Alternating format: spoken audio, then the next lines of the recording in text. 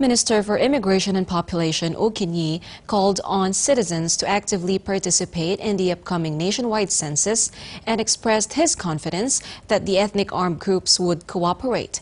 At an event to clarify some issues on the process of taking census, he assured confidentiality of the facts that the public would provide and highlighted the importance of the data that would be gathered in drawing development plans.